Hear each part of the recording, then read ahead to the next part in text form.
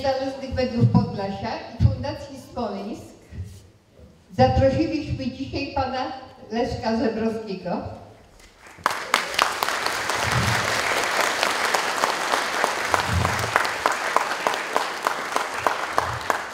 Będzie mówił o tym, co się wydarzyło 10 lipca 1941 roku w Jedwabnem. Mam nadzieję, że też i naświetli, co było przyczyną, jak w skutkach wyglądało to, co się wtedy zdarzyło. To jest... Aha, pierwsza, pierwszym punktem oczywiście jest film y, reżyserowany i ze scenariuszem pana Artura Janickiego. Film z 2003 roku, więc to już 10 lat. Ten film nigdy nie był pokazywany publicznie, więc jest nazywany pułkownikiem. Obejrzymy go w kolorze 25 minut po filmie. Y, Pan Leszek zabierze głos. Potem zaproponujemy rozmowę na temat. Dziękuję bardzo.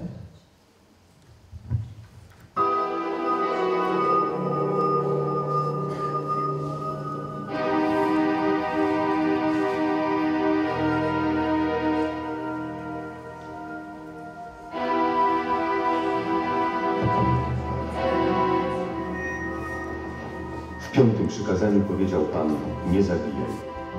10 lipca 1941 roku przyjechał do Jedwabnego specjalny oddział niemieckiego gestapo, by wykonać rozkaz likwidacji Żydów. Rozkaz został wykonany. Zabito.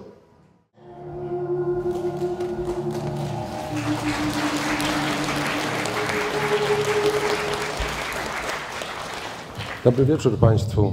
Ja na ogół stoję na takich spotkaniach mówiąc, bo tak jest wygodniej i jest lepszy kontakt z salą, ponieważ tu jest i tak wystarczająco wysoko. Poza tym temat jest naprawdę trudny.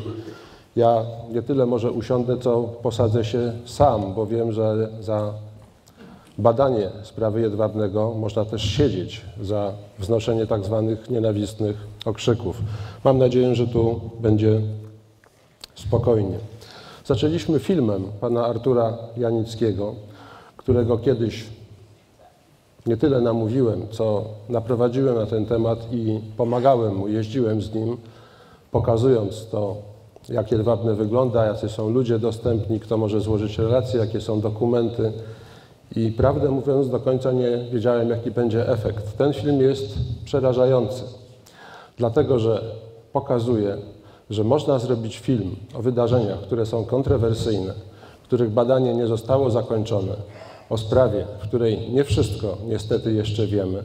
Można zrobić film, który to pokazuje w sposób po pierwsze przyzwoity, po, drugi, po drugie zgodnie z prawdą, z tą prawdą, jaką na tym etapie znamy. Tymczasem mamy do czynienia z czymś, co nas przerosło. Śledztwo było prowadzone biegiem. W ciągu roku zakończono wszystkie czynności, zapadło orzeczenie. Mało kto z Państwa pewnie pamięta jakie. I ten przekaz medialny poszedł w świat. To, co zrobił Jan Tomasz Gross, to, co zrobiła cała propaganda wokół tej sprawy przez następny rok i następne lata, w świecie obowiązuje. Jan Tomasz Gross stał się wielkim uczonym, historykiem, chociaż nigdy historykiem nie był. Jego książka składa się przede wszystkim z papieru i z błędów, które on w tej książce zamieścił. Celowych lub przypadkowych, co wykazuje jego kompletną ignorancję w takich sprawach. Ludzie nieprzygotowani nie powinni się brać za to, czego nie rozumieją, czego badać nie potrafią. On tej sprawy nie zbadał, nie zrobił podstawowych rzeczy, nie przejrzał wszystkich dostępnych archiwów, ale napisał książkę. Wymowa książki jest taka: połowa zabiła połowę. Przedwojenne jedwabne, czy to wojenne z 1941 roku, składa się według niego z dwóch kategorii ludności: ludności polskiej, ludności żydowskiej, mniej więcej po połowie, i nagle pewnego dnia tak jakby bez konkretnego powodu. Jedna połowa morduje doszczętnie co do jednej osoby praktycznie drugą połowę. To poszło w świat. Ta wersja, że było tam 1600 ofiar, że nie było Niemców, że Polacy zrobili to sami, wbrew Niemcom, poszła w świat i cały czas obowiązuje. W naukowych publikacjach, publikacjach popularno-naukowych, propagandowych na świecie, Jedwabne wiąże się tylko i wyłącznie z tym. Zostało to uznane za prawdę objawioną, za prawdę objawioną, od której nie wolno odstąpić. Ostatnie wyroki w Białymstoku o tym mówią, że tak jakby nie było przyzwolenia na zadawanie pytań, na stawianie bardzo trudnych pytań, które cały czas muszą padać. Dlaczego muszą? Dlatego, że najpierw, żeby o czymkolwiek mówić, musimy o tym wiedzieć. Nie tylko tyle, ile nam napisze określona gazeta, czy ujawni nam dany autor. I od tej pory to jest właściwie zamknięcie sprawy. To wszystko dopiero tą sprawę otwierało. Jaka była metoda naukowa Jana Tomasza Grossa? On w jednych z wywiadów dla prasy amerykańskiej powiedział, że doszedł do tych wniosków, poznał wszystko drogą objawienia. Czyli spał, drzemał, wszystko jedno, nagle mu się to wszystko objawiło, zobaczył. W związku z tym z całkowitym przekonaniem mógł napisać książkę, która jest uważana za książkę naukową. Co więcej, on sam tą książkę uważa za dzieło naukowe. Wyraził się w ten sposób. Sąsiedzi są publikacją naukową napisaną w oparciu o dostępną dokumentację przedmiotu i skrupulatne badania. Jeśli się weźmie książkę do ręki, to łatwo można stwierdzić, że jest ona opatrzona przypisami i odnośnikami. Czyli jeśli w trybunie ludu pojawią się przypisy, to będzie gazeta naukowa, prawda? Nieważne, jaką to ma treść, jaki to jest autor, czy jest do tego przygotowany, czy naprawdę coś zbadał, czy nie. Od tej pory możemy twierdzić, że jest to dzieło naukowe. Tak nie jest. I dlaczego tak nie jest? O tym musimy rozmawiać. Musimy zadawać pytania i szukać na te pytania odpowiedzi. Wstrząsem jest dla mnie to, co w tym filmie mówi profesor Andrzej Kola. On sporządził z tych swoich badań raport. Jedyny dokument dotyczący sprawy Jedwabnego, który nie został do tej pory w całości ujawniony, opublikowany, to jest ten właśnie raport. Napisano pełno różnych artykułów. Wyszły dwa wielkie tomy y, w Instytucie Pamięci Narodowej w czarnych okładkach. To są sprawy Jedwabnego, analizowane na wszystkie możliwe sposoby. Są tam wypowiedzi prawników współczesne, które mówią o tym, że w śledztwach w latach 40. ludzi nie bito, co jest sprzeczne całkowicie z wiedzą o tamtym okresie, z dokumentacją, jaką, jaką wytworzyła po sobie, jaką wytworzyły urzędy bezpieczeństwa, z innej dokumentacji więźniów. W sprawie Jedwabnego ludzie, którzy stanęli przed sądem w 1949 roku, odwoływali zeznania, które przedtem składali przed prokuratorem. To wszystko jest nieważne.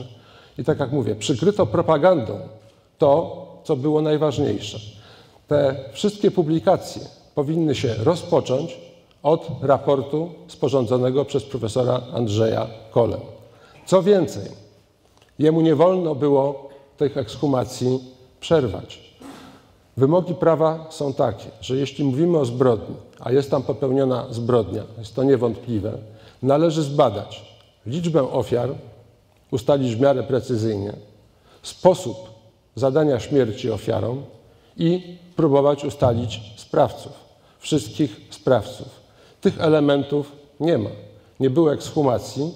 Z tych pierwocin ekshumacji, z tych początków wyszło, że obraz wydarzeń jest całkowicie sprzeczny z tym, co na ten temat pisano i co zawierają wszelkie relacje z tamtego czy późniejszego okresu. Nie ma praktycznie ani jednej wiarygodnej relacji strony żydowskiej. Wszystkie są dziwne, wszystkie są trudne w czytaniu, wszystkie są trudne do pogodzenia z tym, co wiemy o stanie faktycznym. Ale ta wiedza tam zawarta i to, co jest w tej późniejszej propagandzie, cały czas obowiązuje.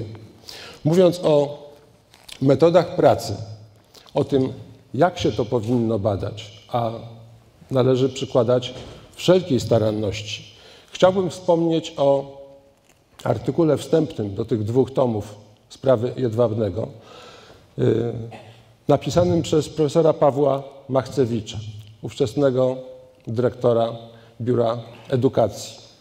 On napisał o dwóch rodzajach relacji w tej sprawie. O relacjach polskich i relacjach żydowskich. No bo tylko takie mamy. Relacje polskie nacechowane są subiektywizmem, emocjami, często zawierają informacje zasłyszane, niesprawdzone, będące wyrazem obiegowych czy wręcz stereotypowych sądów. Nie przekreśla to oczywiście ich wartości, ponieważ nawet jeśli niejednokrotnie prezentują zdeformowany obraz rzeczywistości, są bardzo ważnym źródłem dla odtworzenia nastrojów polskiej ludności. Nie odtworzenia wydarzeń, tylko nastrojów. Z pewnością jest w nich wiele niesłusznych czy wręcz krzywdzących generalizacji. Z pewnością to jest coś takiego, jak mi się wydaje, prawda?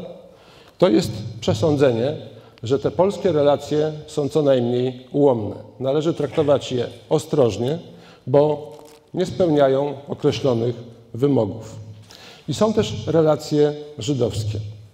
Mają zalety i wady charakterystyczne dla materiału wspomnieniowego. Nacechowane są emocjami, tak jak tam, ale tu skądinąd w pełni zrozumiałymi wobec tragedii, jakiej doświadczyli ich autorzy. Większość z nich jest wyrazem indywidualnych doświadczeń, jak się później okazuje, nie, ale niektóre są zapisem wiedzy zbiorowej przeżyć kilku osób, które zetknęły się ze sobą w getcie, czy też wspólnie się ukrywały.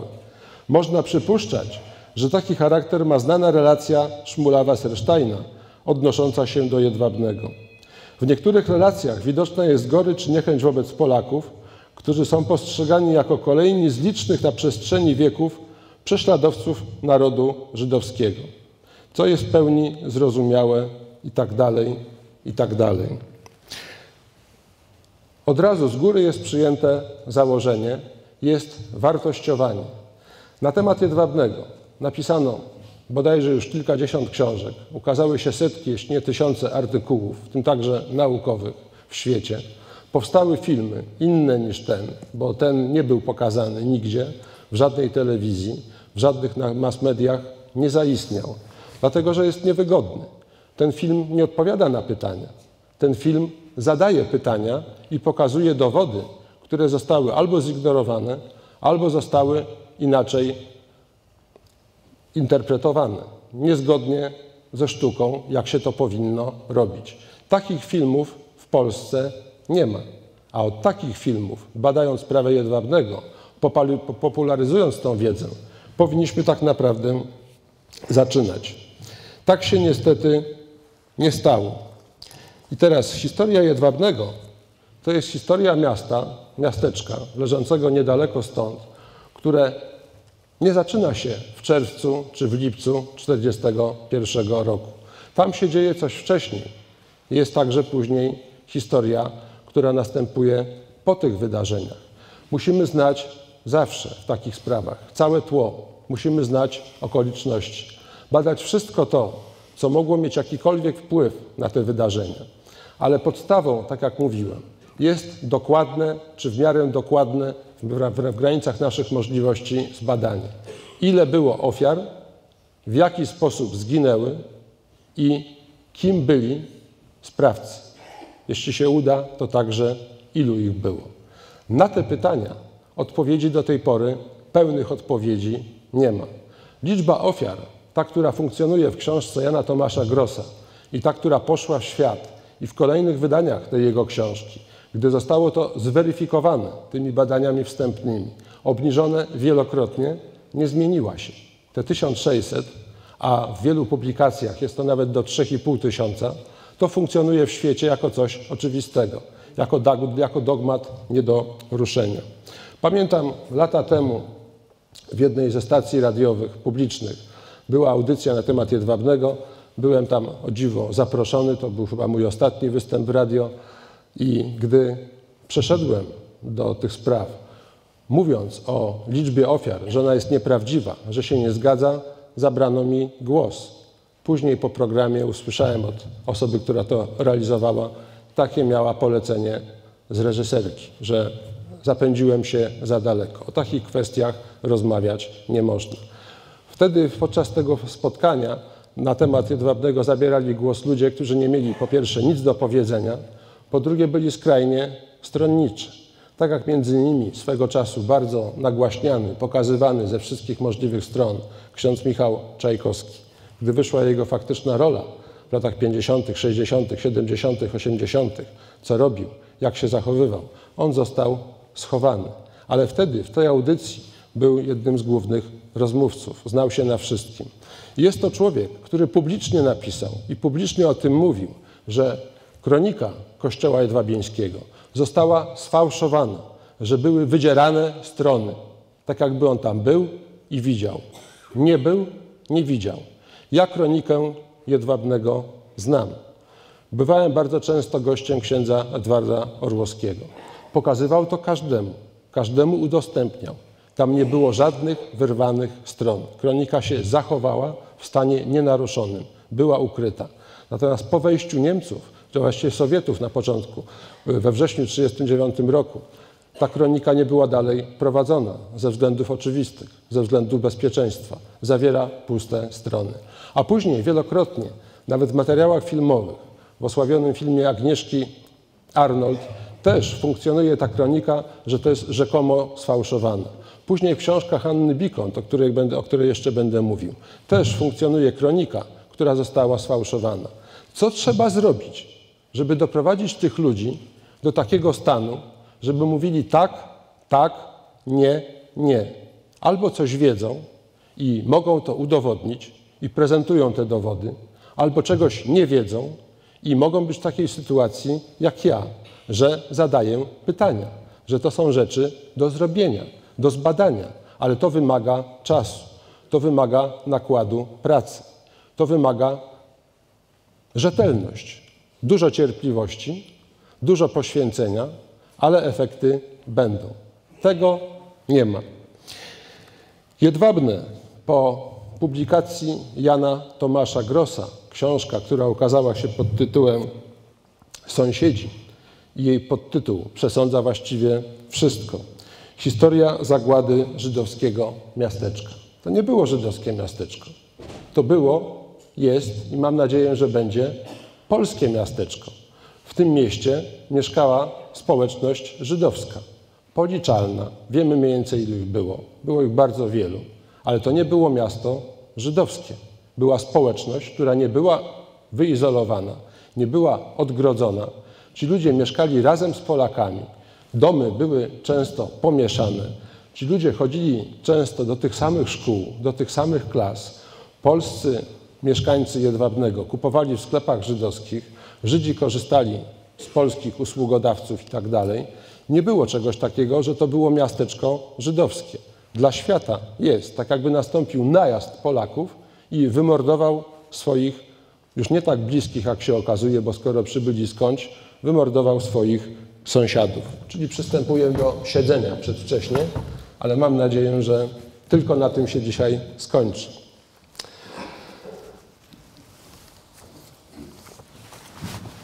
Zacznijmy od roku 1920. Polska jest u zarania niepodległości. Odzyskała niepodległość, ale ta niepodległość jest jeszcze iluzoryczna. Jest najazd, jest walka o wszystkie praktycznie granice. W roku 20 mamy inwazję Armii Czerwonej. Ona przechodzi przez te tereny. Tu jest kolejna okupacja, już tym razem ostatnia w okresie II Rzeczpospolitej, okupacja sowiecka i to ma być państwo sowieckie już na wsiegda. Tworzą się komitety rewolucyjne. W sierpniu 20 roku Armia Czerwona i władze sowieckie, czyli Partia Komunistyczna, powodują, y, powołują REWKON, rewolucyjny komitet. Według badacza tych spraw wojny 20 roku, agresji sowieckiej, budowania tych struktur sowieckich na ziemiach polskich, profesora Szczepańskiego w świetnej książce Wojna 20 roku na Mazowszu i Podlasiu, to jest ten właśnie teren. On stwierdza, że członkami większości komitetów rewolucyjnych byli Żydzi, przede wszystkim działacze bundu i Poalej Sion lewicy. Miejscowa milicja, czerwona milicja, jest opanowana także przez przedstawicieli żydowskich. I to, co on wynalazł w tych dokumentach, że nawet polskim komunistom nie podobało się to, że dowódcy Armii Czerwonej po wkroczeniu do danego miasta najpierw rozmawiali z Żydami i wydawali odezwy zarówno w języku polskim, jak i żydowskim. Nawet ci komuniści, którzy mieli jakieś tam jeszcze odczucia narodowe, ale i tak przecież budowali Związek Sowiecki, patrzyli na to niechętnie, że pewna część tych rewolucjonistów jest traktowana inaczej, lepiej. Później, po klęsce bolszewików, duża część uczestników tych rewkomów, tych władz administracyjnych sowieckich, które się tworzą, przecież oni mieli też swój rząd przecież w Białymstoku już powołany, przygotowany, ucieka z bolszewikami. Ale od tamtego momentu ugruntowało się takie powszechne przekonanie w społeczności polskiej, że istnieje takie zjawisko jak Żydokomuna. Dla ludzi, którzy mieszkali, którzy widzieli, doznali tego i odczuli na własnych plecach, czy rodzinnie, czy osobiście, pojęcie Żydokomuny oznaczało, że to są komuniści pochodzenia żydowskiego. Utożsamiali komunizm wyłącznie z Żydami. Nie do końca oczywiście było tak, bo w strukturach partii komunistycznych, które działały w II Rzeczpospolitej nielegalnie, duża część członków to byli ludzie pochodzenia żydowskiego, czy polscy Żydzi, czy Żydzi z Polski, natomiast byli też ludzie polskiego pochodzenia, ale szczególnie we władzach byli w mniejszości. W niektórych strukturach władz, tych newralgicznych, Polaków praktycznie nie było w ogóle. Mamy dokumenty zachowane z okresu między, międzywojennego, jak na tym terenie wyglądało podziemie komunistyczne. Partie komunistyczne były nielegalne, jako te, które nie uznawały niepodległości, suwerenności Polski, jako te, które miały swoich mocodawców w Moskwie, jako te, które pracowały dla sowieckiego wywiadu, które organizowały sabotaże, zamachy, skrytobójstwa, musiały działać w podziemiu, byli zdelegalizowani. Ta partia na tych terenach nie była wielka. Tu nie było dla nich poparcia. To jest zawsze krąg kilkudziesięciu do stu osób na cały region łomżyński, tam gdzie jest jedwabny. Ale czasami było nawet jeszcze mniej. W jednym ze sprawozdań z 26 roku jest taka informacja. W Jedwabnem polscy towarzysze są zupełnie odseparowani od żydowskich. Istnieją dwa komitety, polski i żydowski, pozostające ze sobą w kontakcie. Specjalnej roboty, roboty między nimi nie ma. W 1931 roku wizytator Komunistycznej Partii Polski już się uskarża w raporcie dotyczącym okręgu łomżyńskiego. Okręg jest przede wszystkim chłopski, zaś nasza organizacja w 100% żydowska. I dalej w następnym raporcie mamy ubolewanie. Istnieje słabość naszych organizacji miasteczkowych. Ich skład, przeważnie żydowski i tak zwany antygoizm osłabia subiektywny czynnik rewolucji. Dopiero pod silnym naciskiem daje się przełamać ten rodzaj sekciarstwa. Co to znaczy antygoizm? Towarzysze żydowscy nie przyjmowali tych komunistów, którzy mieli wyłącznie polskie pochodzenie. Ich po prostu nie chcieli. Nawet w takiej partii, która oficjalnie głosi, że jest ekspozyturą międzynarodówki, że narody to przeżytek, mamy partię, w której są tak silne te instynkty antygojowskie. I przychodzi rok 39, wrzesień. Współżycie społeczności polskiej żydowskiej w okresie międzywojennym, przynajmniej to, co wiemy o Jedwabnem, było normalne. Istniały zadrażnienia, jakieś drobne waśnie, ale nie dzieje się nic, co by ten obraz wypaczało. Nie znaleźli ci wszyscy, którzy szukali jakichkolwiek negatywnych treści, jakichś zaszłości przeciwko stronie polskiej, nie znaleźli nic, co by przesądzało, że, ta, że to sąsiedztwo, to współżycie dwóch społeczności różnego pochodzenia, różnej religii, różnej tradycji było złe. Mamy relację, że miejscowy ksiądz proboszcz przechadzał się na rynku z rabinem, toczyli dysputy. Dzieci polskie chodziły z dziećmi żydowskimi do tych samych klas, chociaż istniały także oczywiście szkoły żydowskie. W, w, skali całej przedwojennej Polski, II Rzeczpospolitej, około połowa dzieci żydowskich chodziła do szkół czysto żydowskich. Mieli autonomię. Polska na to pozwalała. Ale druga część chodziła do szkół polskich. Oczywiście z poszanowaniem lekcji religii, ich tradycji itd. Ale nie było czegoś takiego, że istniała otwarta wrogość. Jest to ważne, bo to tłumaczy później, czy stało się coś po wejściu Niemców, czy nie było tak, jak nam to bez przerwy się opisuje. Jedwabne zostało opanowane przez Niemców już 7 września 1939 roku. Był to teren, który na skutek wcześniejszych uzgodnień Stalina z Hitlerem miał przypaść stronie sowieckiej. Ale Niemcy uderzyli pierwsi, komuniści sowieccy czekali do 17 września, nie byli pewni wyniku i skutków. Oni zawsze lubili dobijać leżącego i żywić się już kimś, kto nie bardzo był zdolny do obrony. Nie zdążyli tych terenów zająć. Te pierwsze dni okupacji to są dni okupacji niemieckiej.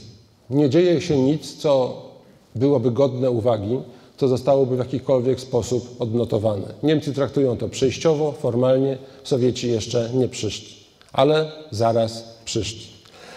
Te tereny zostały przeznaczone do komunizacji i do rusyfikacji.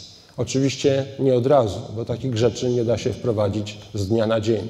Żeby móc tą okupację sowiecką wzmocnić, pokazać swój własny aparat, że dominuje nad lokalną społecznością, należy tą społeczność kompletnie rozbić. Należy ją pozbawić wszelkich elit.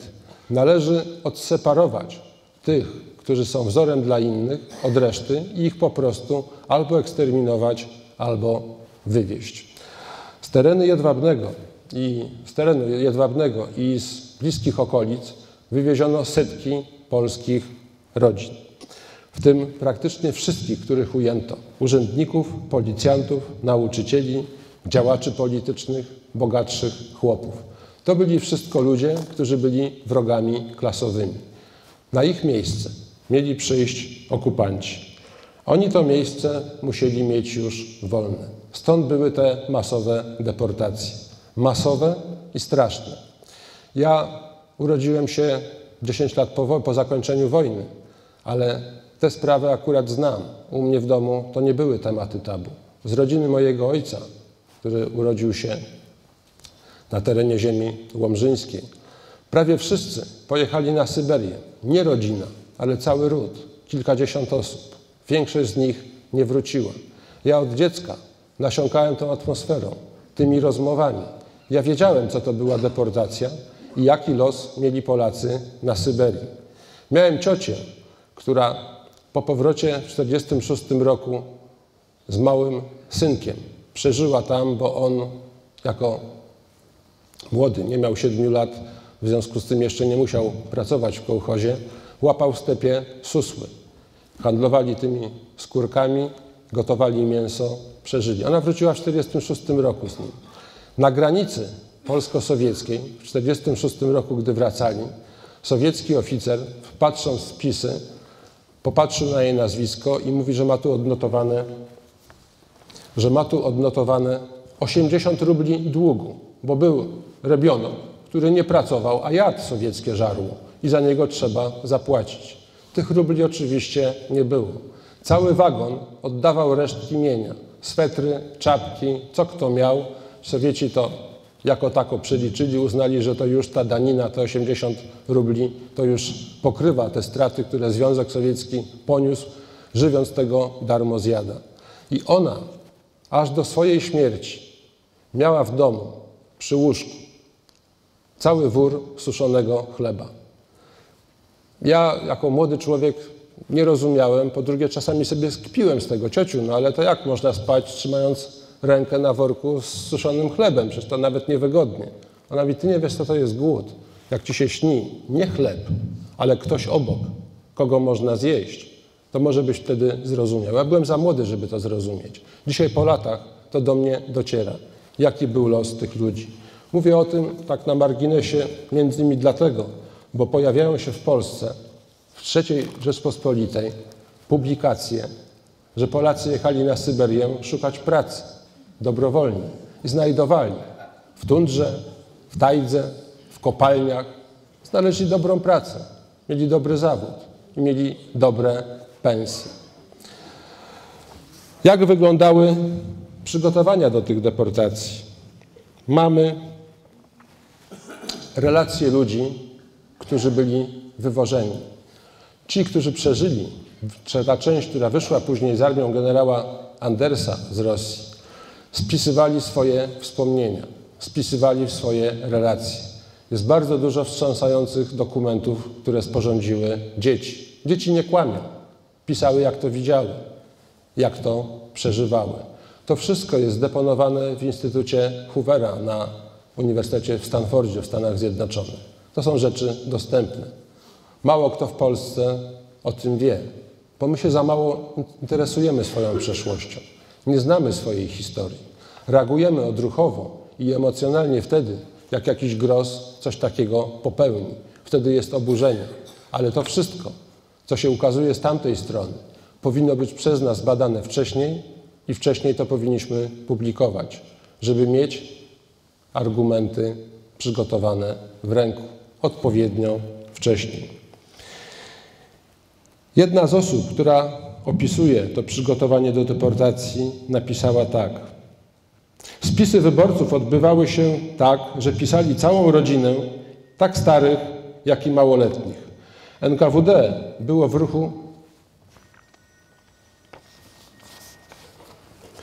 i nie dano iść ludziom do kościoła, a zmuszano oddać głos. Naganiacze byli miejscowi Żydzi i donosiciele. Po ulicach chodziły patrole z karabinami. Ludność pod taką groźbą była bierna.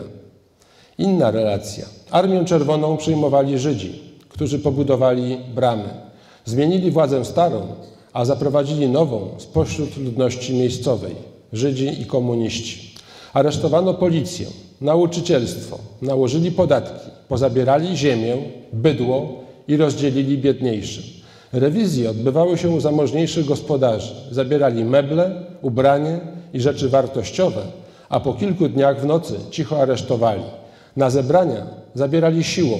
Opornych uznawali za tak zwanego wredziciela, czyli szkodnika i aresztowali. Komisja składała się z wojskowych i z Żydów i tamtejszych komunistów. Inny świadek. Zaraz po wkroczeniu armii sowieckiej samorzutnie powstał Komitet Miejski składający się z komunistów polskich. Przewodniczącym Polak był Krystowczyk Czesław, członkowie zaś Żydzi. Milicja składała się też z Żydów komunistów. Inny świadek. Przed każdym aresztowaniem, które były wyłącznie nocą, przyjeżdżało kilku bojców i miejscowa milicja, składająca się przeważnie z naszych Żydków, otaczała dom aresztowanego. Kilku wchodziło do mieszkania. Aresztowanemu każą położyć się na podłogę. Jeden przykłada broń do głowy, reszta natomiast przeprowadza szczegółową rewizję. Zabierają wszystkie dokumenta, fotografie i wszystkie papiery. Inny świadek, wywożony z Jedwabnego. Pamiętam, jak nas wywozili Polaków do transportu na Sybir. Na każdej furmance siedział Żyd z karabinem. Matki, żony, dzieci klękały przed wozami, błagały o litość, o pomoc. Tej pomocy oczywiście nie było, bo nie miał kto tym ludziom tej pomocy udzielić. Oni jechali do pracy, tak jak mówiłem. Po wybuchu wojny niemiecko-sowieckiej 22 czerwca 1941 roku, już następnego dnia do Jedwabnego, to jest blisko granicy, blisko ówczesnej granicy polsko-niemieckiej z Prusami, wkraczają Niemcy. W tych pierwszych dniach, gdy przechodzi front, Niemcy idą dalej, teren jest opustoszały. To jest tak zwana ziemia niczyja. Nie ma polskiej administracji, nie ma polskiej policji, nie ma żadnych służb porządkowych. Na tym terenie i nie tylko tam, wszędzie tam, gdzie weszli Niemcy, na tereny okupacji sowieckiej, dochodzi do licznych samosądów. ale te samosądy są skierowane przeciwko konkretnym ludziom, przeciwko konkretnym osobom. Ci, którzy kolaborowali z władzą sowiecką, ci, którzy pomagali wywozić, a ostatnia wywózka odbyła się kilka dni przed wejściem Niemców. Jeszcze był ta, ten tragiczny moment w rodzinach żywy.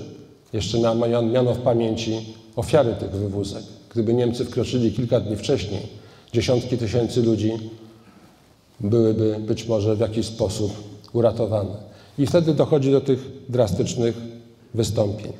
Ciekawe jednak, że nie ma wystąpień przeciwko ludności żydowskiej, przeciwko poszczególnym osobnikom, chociaż akurat większość żydowskich kolaborantów uciekła, uciekła z Armią Czerwoną. Nie ma wystąpień przeciwko ludności żydowskiej. Gdyby były takie instynkty, jak opisuje Jan Tomasz Gross i inni propagandziści, że Polacy dyszeli tą nienawiścią, że byli naładowani tą złością, antysemityzmem przez Kościół katolicki przez setki lat i to w nich nagle wybucha, to był najbardziej dogodny moment. Nie ma żadnych władz, nie ma żadnej odpowiedzialności, istnieje całkowita bezkarność, nic takiego się nie dzieje. Ponad dwa tygodnie nie ma żadnych pogromów ludności żydowskiej. Nic, po prostu nic. To są pytania, które musimy stawiać. Odpowiedzi mogą być różne, ale te pytania nie padają. Przeskakujemy od razu do 10 lipca 1941 roku. Później mamy relację strony żydowskiej o tym, co się dzieje 10 lipca 1941 roku. W tych relacjach padają liczby. Od 1600 do 3,5 tysiąca Żydów spalono w tej stodole, której zarys Państwo widzieli na filmie.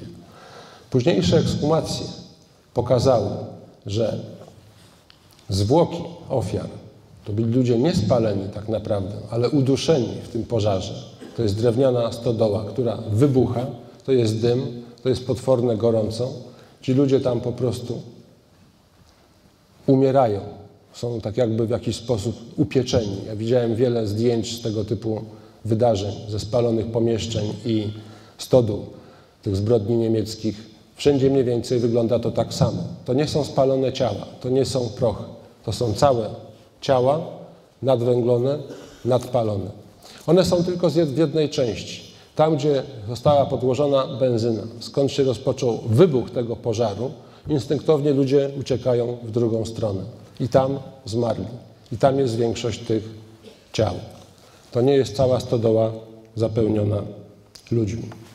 I teraz, przystępując do rekonstrukcji, do rekonstrukcji tych wydarzeń, zarówno przed sądem e, w 1949 roku, jak i później w tych wszystkich badaniach, zarówno prokuratorskich, historycznych, publicystycznych, dotyczących 10 lipca, opieramy się na tak naprawdę kilku dokumentach. Nie na mnóstwie dokumentów, ale na kilku dokumentach. Pierwszym z nich, dokumentem podstawowym, który początkowo miał o wszystkim rozstrzygać, bo miał pochodzić od autentycznego świadka wydarzeń, to jest relacja Szmula Wassersteina, tego uratowanego u Anny Wyżykowskiej w Jedwabnem, właściwie na kolonii jedwabieńskiej, który to wszystko opisał, widział, tak jakby wszędzie chodził, oglądał, jest przy wszystkich wydarzeniach. Później się okazało, że tych jego relacji jest co najmniej kilka i zawierają zupełnie inne informacje. Wychodzi później na jaw, że on w ogóle nie był świadkiem. On tego nie widział. On się ukrywał w znacznej odległości od tych wydarzeń. Także na własne oczy nie widział nic. Skoro nie widział, to przestaje być świadkiem wiarygodnym. Jego relacja może być materiałem pomocniczym, o ile byłaby potwierdzona przez inne, bardzo pewne, bardzo mocne dowody. Jego powieść jest bardzo drastyczna i bardzo szczegółowa. To jest opowieść człowieka, który stoi bezpośrednio przy tych ofiarach, który to wszystko widzi, przeżywa, następnie wszystko opisuje. Ale jego tam przy tym nie było. On w jednej z tych swoich relacji, tak jak mówię, jest kilka, napisał tak. W Jedwabnem, Jedwabnie, do wybuchu wojny żyło 1600 Żydów, z których uratowało się tylko siedmiu, przechowanych przez Polkę Wyżykowską, zamieszkałej niedaleko miasteczka. W poniedziałek wieczorem, 23 czerwca 1941 roku, Niemcy wkroczyli do miasteczka. Już 25 przystąpili swojscy bandyci z polskiej ludności do pogromu Żydów, czyli dwa dni po wejściu Niemców. Dwóch z tych bandytów, chodząc razem z innymi bandytami po żydowskich mieszkaniach, grali na harmonii i klarnecie, aby zagłuszyć krzyki żydowskich kobiet i dzieci. Jestem ciekawy, czy do dzisiaj na wsi, w tych wiejskich kapelach są klarnety. Czy takim instrumentem ja wielokrotnie jako dziecko, później młody człowiek jeździłem na wieś do rodziny, bywałem na wielu weselach, widziałem te wszystkie kapele. Nie spotkałem takiego instrumentu. Skąd u Wassersteina się wziął klarnet? Może mo- ktoś z sali odpowie, może rzeczywiście Polacy na wsiach grali na klarnetach. Jak na razie to dla mnie jest niewiarygodne. W międzyczasie rozpowszechniono pogłoskę, że Niemcy wkrótce wydadzą rozkaz zniszczenia wszystkich Żydów. On już wie wcześniej. Dwa tygodnie przed wydarzeniami on wie, co nastąpi. Mimo, że taki rozkaz wydali Niemcy, ale polscy chuligani podjęli go i przeprowadzili najstraszniejszymi sposobami. Po różnych znęcaniach i torturach spalili wszystkich Żydów w stodole. 10 lipca 1941 roku rano przybyło do miasteczka ośmiu gestapowców, którzy odbyli naradę z przedstawicielami władz miasteczka. Na pytanie gestapowców, jakie mają zamiary w stosunku do Żydów, czyli ci Polacy, to wszyscy jednomyślnie odpowiedzieli, że trzeba wszystkich zgładzić. Na propozycję Niemców, ażeby z każdego zawodu zostawić przy życiu jedną rodzinę żydowską, obecny miejscowy stolarz Szlasiński odpowiedział: Mamy dość swoich fachowców, musimy wszystkich Żydów zgładzić, nikt z nich nie może zostać żywym. Burmistrz Karolak, niech tu Państwa nie zmyli jego polskie nazwisko, to jest Reichsdeutsch, Niemiec. I wszyscy pozostali zgodzili się z jego słowami. Postanowiono wszystkich Żydów zebrać w jedno miejsce i spalić. I teraz tak, dla kogoś, kto czyta to w Ameryce, w Wielkiej Brytanii, we Francji, gdziekolwiek na świecie, czy nawet teraz w Polsce, kilkadziesiąt lat po tych wydarzeniach, gdy praktycznie nie ma świadków historii, zostały pojedyncze osoby wiekowe, taki obraz sytuacji może być wiarygodny. Oto pisze ofiara, niedoszła ofiara, który to przeżył, który to widział, który wszystko wie. Jaki mamy początek okupacji? Są dwie strony, trzy właściwie strony. Z jednej strony są Żydzi jako ofiary, z drugiej strony są oprawcy. Są polskie władze miasta Jedwabne, przyjeżdża gestapo niemieckie i pertraktują z Polakami. No może by wszystkich Żydów. Może nie wszystkich, może zostawić. Są zawody, Niemcom są potrzebni ludzie do pracy, a Polacy mówią nie, kategoryczne Niemcom. Nie zgadzają się. My ich zastąpimy. My będziemy za nich pracować. Kilkadziesiąt lat po wojnie takie wieści można rozpowszechniać tam, gdzie tej wojny nie było. Niestety w Polsce także, bo nauka historii zanika, bo rzetelnych opracowań na takie tematy praktycznie nie było. Ale jest to absurdalny, od początku do końca nieprawdziwy opis sytuacji. Niemcy na terenach okupowanych z żadnymi przedstawicielami miejscowej ludności nie pertraktowali, nie pytali się, czy mogą, nie prosili o zgodę. Jest to fałsz od początku do końca. Dalej Wasserstein opisuje w ten sposób. Miejscowi chuligani, wszyscy uzbrojeni w siekiery, w specjalne kije, w których były nabite gwoździe i inne narzędzia zniszczenia i tortur, pędzili wszystkich Żydów na ulicę. Jako pierwsza ofiara swoich diabelskich instynktów wybrali 75 najmłodszych, najzdrowszych Żydów, którym kazali podnieść z miejsca i zanieść wielki pomnik Lenina. On nie był taki wielki, to było zwykłe popiersie gipsowe, Sowieci nie wysilali się wtedy. Było to niemożliwie ciężkie, ale pod gradem straszliwych uderzeń musieli jednak Żydzi to zrobić. Niosąc pomnik, musieli jeszcze do tego śpiewać, aż przynieśli go na wskazane miejsce. Tam zmuszono ich do wykopania dołu i wrzucenia pomnika. Po tym ci sami Żydzi zostali zakatowani na śmierć i wrzuceni do tego samego dołu. I tak dalej, dalej. Są te drastyczne opisy sytuacji. Wszystkie zmierzają do tego, że były dwie grupy zamordowanych Żydów. Jedna, według tej relacji, 75 osób zamordowanych przez Polaków, z tym popiersiem Lenina, którzy zostali zagrzebani na Kierkucie żydowskim i druga grupa, reszta ludności żydowskiej, wpędzona do tej stodoły, podpalona przez Polaków, przyniesioną z miejscowego sklepiku naftą i ci ludzie spłonęli. Ja już nie będę czytał dokładnie tej jego relacji, bo za dużo trzeba byłoby tych uwag do wszystkiego i wyjaśnień. Jego wersja jest taka, że wpędzeni ludzie do stodoły są pilnowani przez Polaków. Tą stodołę się zamyka, oblewa się naftą, podpala się, następuje wybuch, ta stodoła staje w płomieniach. Część tych Żydów wydostaje się na zewnątrz. Polacy jeszcze grasują po okolicy, po domach, wyciągają tych, którzy się gdzieś uratowali, gdzieś się schowali, nadziewają ich na widły i wrzucają z góry, przystawiając drabiny do tej płonącej stodoły. Ja widziałem płonącą stodołę na wsi w życiu raz, jeden. Wiem, że na odległość kilkudziesięciu metrów nie można było podejść. To jest wybuch jednorazowy, słup ognia kilkadziesiąt metrów w górę, te snopki z poszycia latają w powietrzu. Straż pożarna wtedy tego, tego pożaru nie gasiła. Oni się po prostu tego bali. Nie mogli tego gasić. Nie ma takiej możliwości. Ale żeby taki pożar wzniecić, żeby nastąpił taki wybuch, tak jak jest tu opisywane w sprawie jedwabnego, to nie dałoby się tego załatwić naftą. 8 litrów nafty rozlanych na długości kilkudziesięciu metrów, obrysie tej stodoły, czy stu kilkudziesięciu metrów, to byłoby po parę kropel w, w miejscach z przerwami. Od tego nie wystąpi ten gwałtowny pożar, wybuch. To musi być podpalone inaczej. Profesor Iwo Cyprian Pogonowski ze Stanów Zjednoczonych, Polak, człowiek wybitny, zlecił amerykańskim strażakom za własne pieniądze taką ekspertyzę. Co musiałoby nastąpić, żeby w budowli o takiej mniej więcej wielkości, której wymiary znał, drewnianej, krytej słomą, co trzeba zrobić, ile trzeba paliwa, jakiego, żeby nastąpił jednorazowy, gwałtowny wybuch. Według tych jego ekspertyz, dostarczonych mu przez strażaków amerykańskich, na to powinno iść do 400 litrów benzyny. Benzyny Polacy oczywiście nie mieli.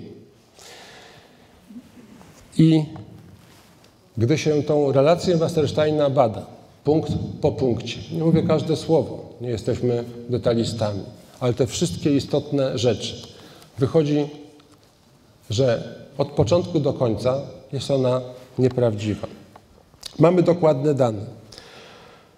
Podczas okupacji sowieckiej na terenie całej gminy, czyli cały rejon, jak to Sowieci nazywali, Jedwabny, Wizna, Stawiska, inne miejscowości, wszystkie wsie okoliczne, łącznie mieszkało tam 1400 Żydów. W samym Jedwabnym mamy dane bardzo dokładne. Sowieci prowadzili ścisłą ewidencję ludności. Tuż przed wkroczeniem Niemców mieszka tam 562 Żydów. Nie ma 1600. To nie jest uwłaczanie czci tym ofiarom. To nie chodzi o grzebanie się w tych detalach, ale nie tylko dla prokuratora, ale dla historyka, dla kogoś, kto tą wiedzą się w jakiś sposób posługuje. Te elementarne dane są niezbędne. To jest wiarygodność tego człowieka, to jest wiarygodność tych relacji. Jak mogło zginąć 1600 osób, skoro wszystkich mieszkało 562? Z tych 562 osób Sowieci powołali do Armii Czerwonej kilkadziesiąt osób. To jest w innych relacjach żydowskich. Młodzi mężczyźni, także Polacy, byli zabierani do Armii Czerwonej. Część tych ludzi, którzy współpracowali z władzą sowiecką, ci milicjanci, ci, którzy byli w tych siel sowietach i tak dalej, uciekali z Armią Czerwoną. To znowu zmniejsza tą liczbę 562 osób do grubo poniżej 400. W związku z tym powstaje pytanie, O 10 lipca 1941 roku wiemy, nastąpiła eksterminacja ludności żydowskiej. Nie wiemy ile, bo to do końca nie zostało zbadane. Profesor Kola w tym swoim raporcie, o którym tu opowiada, dochodzi do liczb, że to jest górna granica, to jest 350 osób. Pierwsze wersje, pierwsze ustalenia, które poszły i były publikowane, mówiły o 150 ofiarach, ale to się wydawało za mało. Następnie bardzo szybko tą liczbę podniesiono. Czy 150, czy 300, to z pewnością nie jest 1600. Ale jest jeszcze jedna bardzo przedziwna rzecz, na którą praktycznie nikt nie zwraca uwagi. To pytanie postawił w tym filmie pan Artur Janicki. W mieście, w którym ludność polska, tak rozwydrzona, zezwierzęcona, morduje wszystkich, którzy mają żydowskie pochodzenie, każdy kogo złapią. Nadziewają te dzieci, tych ludzi na widły, wchodzą po płonącej stodole po drabinie, dorzucają ich z góry. Nie było wtedy kombinezonów. Jak to jest możliwe, że od 100 do być może nawet 200 osób z tego pogromu się uratowało? Oni przetrwali w polskich domach, ukrywani, w piwnicach, ukrywali się w najbliższej okolicy, byli przez Polaków wyprowadzani. Oni nie zginęli. Oni byli świadkami tych zbrodni, ale oni nie zginęli. I to, co jest najbardziej zagadkowe, przez następnych kilkanaście miesięcy w Jedwabnem ta grupa od 100 do 200 Żydów mieszka tam, gdzie mieszkała. Nie ma getta, nie ma murów, nie ma żadnych wart. Niemcy ich tam zostawili w spokoju. Mieszkają między Polakami, mieszkają między swoimi sąsiadami, mieszkają między tymi, o których się mówi, że to są mordercy Żydów. Jak to jest możliwe, że ci mordercy jednego dnia dokonują czegoś tak niesłychanego, a przez następne kilkanaście miesięcy najbliższych członków ich rodzin mają między sobą. Nikomu z nich się nic nie dzieje. Co więcej, oni ich ratują. Polacy załatwiają u Niemców, żeby pozwalali tym Żydom pracować w gospodarstwach, pomagać za jedzenie, za utrzymanie, za ubranie. Niemcy się na to zgadzają. Polacy mogliby przecież odmówić. Mogliby unicestwiać, jeśli nie jawnie, to w jakiś sposób bardziej tajny, tych bezpośrednich świadków, którzy widzieli, kto mordował, kto jest kim, a tym ludziom kompletnie nic się nie dzieje. Czyli wiemy, narada w wersji Wassersteina, którą odbyli gestapowcy z Polakami, jest fałszem. Nie mogło wyglądać to w ten sposób, że Niemcy uzgadniają ze stroną polską, proszą, proponują, a Polacy im mówią nie. I Niemcy wtedy zrozpaczeni, że nic się nie da zrobić, rzekomo wyjeżdżają z miasta. Zostawiają ten los tych biedaków tylko w polskich rękach. Nie biorą w tym żadnego udziału. Chociaż w tej książce Jana Tomasza Grossa, jak się ją uważnie czyta, są różne relacje żydowskie, które mówią o tym, że Niemcy stali cały czas, pilnowali, robili zdjęcia i nagrywali filmy. Czyli jeśli ich nie było, to co oni po sobie zostawili? Aparaty cyfrowe wbite na kołek, żeby, yy, żeby to filmowały? Są uczestnikami, są organizatorami, Niemcy, są uczestnikami, są wykonawcami. Przesądzającą sprawą w tym wszystkim jest fakt, czy strzelano do tych ludzi, bo oni przecież jakiś tam bierny opór stosowali, próbowali się wydostać. To jest naturalny ludzki odruch. Nie dać się unicestwić. Czy ktoś do nich strzelał, czy nie? W licznych relacjach żydowskich są opowieści, że Polacy byli uzbrojeni, że mieli broń, chodzili po mieście z bronią. Jest to tak sytuacja absurdalna dla ludzi, którzy wiedzą cokolwiek o okupacji, o tym, jak wyglądały realia, że nie ma nawet co tego komentować. Broń mogli mieć tylko nadludzie, Niemcy, i tylko oni mogli się nią posługiwać. Polak za posiadanie broni miał karę śmierci. On, cała jego rodzina. To było niewątpliwe. Zbyt bogata jest dokumentacja niemiecka, żeby w ogóle o tym dyskutować. I